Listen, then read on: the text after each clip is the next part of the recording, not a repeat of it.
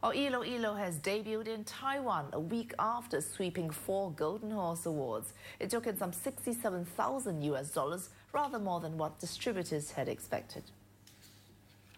It's Ilo Ilo's first day of screening in Taipei, and many Taiwanese are queuing to buy tickets. They're curious to see what makes it the best picture at the Asian Oscars. 因为我看到在金马奖上这位导演得了很多大奖，所以我很好奇，想来看一下。因为听说还蛮厉害的啦，就是小陈鹏，可是做出了很很棒的作品，觉得要来看一下。我发现到那个导演竟然跟我同年纪，我发现他是蛮厉害的。With so much interest, it's no wonder it's a full house. Its local distributor expects ticket sales will be at least 30 to 40% higher than original projections. And what do moviegoers think of the award-winning film?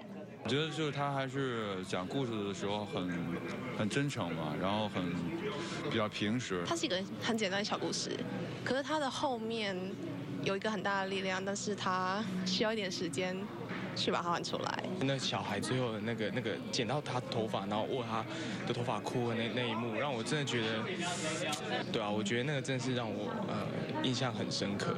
a good story never fails to capture the hearts, especially one on human relations and emotions.